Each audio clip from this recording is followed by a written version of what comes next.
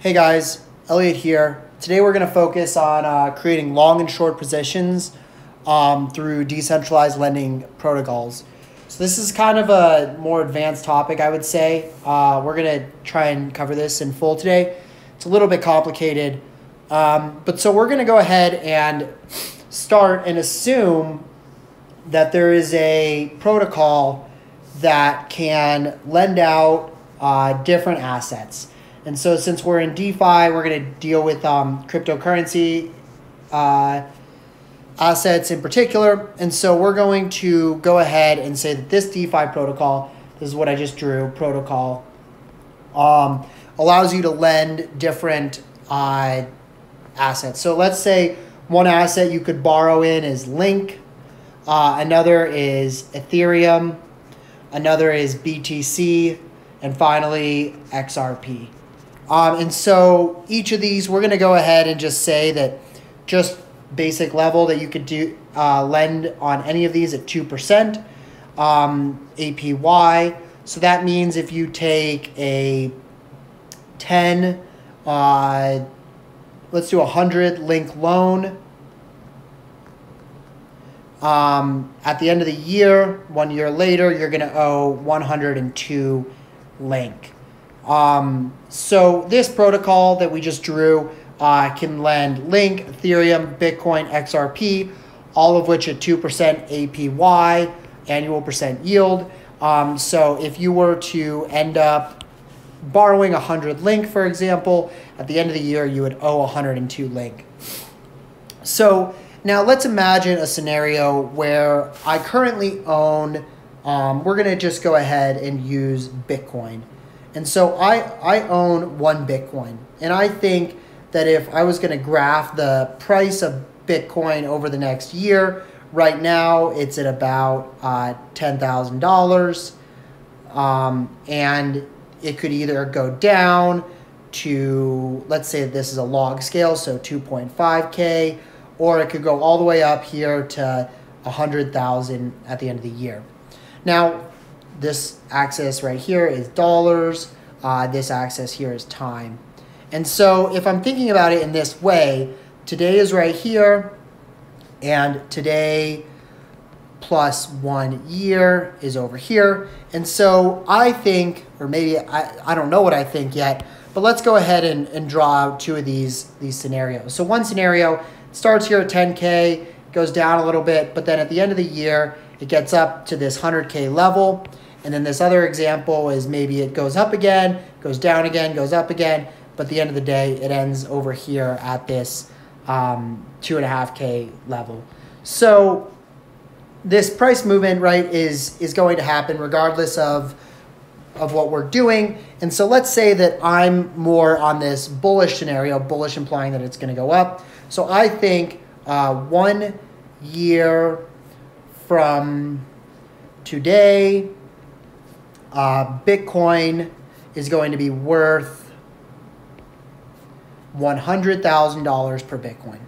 So that's what I think. So I'm going to put, and so now I'm thinking about how do I leverage my money to make more money on this. And so what I can go ahead and do is I can uh, put my Bitcoin into uh, this lending protocol that we kind of described up here. And um, use it as collateral. So this means that I can put my one Bitcoin as collateral and then use this collateral to generate a loan. Sorry, that was a little messy. I'll rewrite that. Loan. And so how does this work? So what happens is I submit my one Bitcoin. And from here, I can take out a loan with a loan to value ratio. So loan to value. And this we're going to say is LTV of up to 70 percent. So this means if one Bitcoin equals $10,000, I can take out a loan of up to $7,000 to match this loan to value ratio. And so let's talk about what happens here if I do this. Um, so now I have the so now I, I still own this one Bitcoin, but I also have seven thousand dollars that I could I could essentially loan out. Now the one thing to call out is since this is collateral, if the price of BTC goes down and I have seven thousand dollars lended, this makes my loan to value ratio increase above 70%, which implies that I would be liquidated. And that means that I keep the the loan amount right here. So I keep 7,000. But the protocol takes my one Bitcoin to pay for it. So that's kind of complicated, but essentially your Bitcoin is your collateral and you would lend off of that. Um, and if your if the if your loan to value ratio gets too high, you get liquidated. This is very similar to uh, traditional lending where, where you have collateralized. The one key difference here is that Bitcoin, we always have a price for it. We can use a price oracle and um, always know if our loan is above or below that loan to value threshold. So now jumping back to our protocol, uh, let's say that I think, not only do I think that Bitcoin is going to go up in price, but I also think Chainlink is going to increase in price. So what I can do is I can, like we said earlier, um, I use my Bitcoin as collateral. And I take out a loan, and I'm going to take it out a lot lower than this 70% loan to value ratio so that I don't have to, so that I never have to worry about liquidating if the price of Bitcoin changes. But I'm going to take out a loan on Chainlink to generate something that I'm going to call a long position. So, what does this mean? Well, let's graph it out.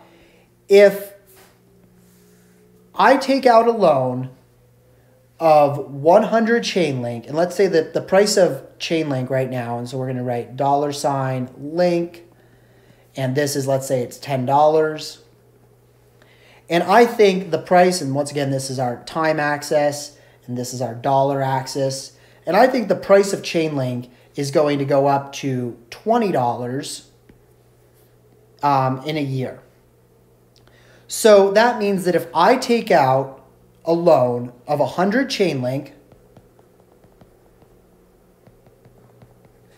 I take out a loan of 100 Chainlink. Immediately, I convert that Chainlink into $1,000. So now, no, that's not what I do.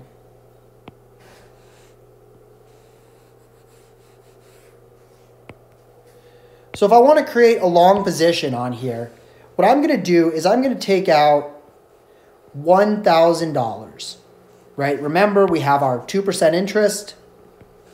And so at the end of the year, I'm going to owe $1,020.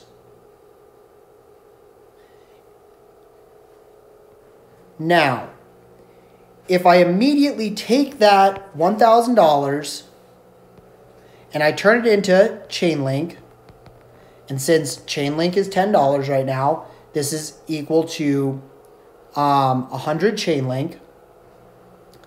Now, and at the end of the year, my price does actually go up to that 20 that $20 level. At the end of the year, I can sell my 100 Chainlink for $2,000. Now, I pay back my loan, right? So subtract 1020, and that means that I profit $980 from this loan. So essentially, I just created a long position where if the price goes up, um, I take out some cash, buy Link with it, and if the price goes up, I make money. It's pretty straightforward. Now, the other example would be a short position. So let's draw that out. So once again, same axes, right? This is time. This is the dollar price of Chainlink. And right now we're at $10. And I think that at the end of the year, it's going to go to $5. So maybe, so let's graph this out. Maybe it goes up over here to 21st, then it comes down and goes up a little. And then at the end of the year, it ends here at $10 or $5. So if I wanted to create a position that I could make money if I bet on that, what I would do is I would take out a loan. Sorry, let me use a different color. Loan of, in this case, I'm actually going to take out the loan in the currency, Chainlink. And I took out 100. So essentially, I took out a $1,000 loan, but I took it out in Chainlink. I'm then immediately going to sell that for $1,000 and I'm going to wait till we get to this time point of one year. At that time point, I then, and assuming that I was correct in the price going down, I'm then going to create, I'm then going to take my $1,000 and I need to repay. So remember, we have our, we, we took out a Chainlink loan. So we took out 100 link and don't forget our 2% interest. And so then that means that I owe at the end of the year 102 link. So I get to the end of the year, I have my $1,000 in my pocket because I immediately took my Chainlink and put it into dollars. And so I take that $1,000 and I repurchase it $5 per link, which means that I can buy 200 Chainlink and then I repay my loan, so I subtract 102, which leaves me with 98 Chainlink because I shorted this situation. So now I can convert this back into dollars. Um, I could leave it in this asset. I could do whatever I want, but at the end of the day, this was creating a short position.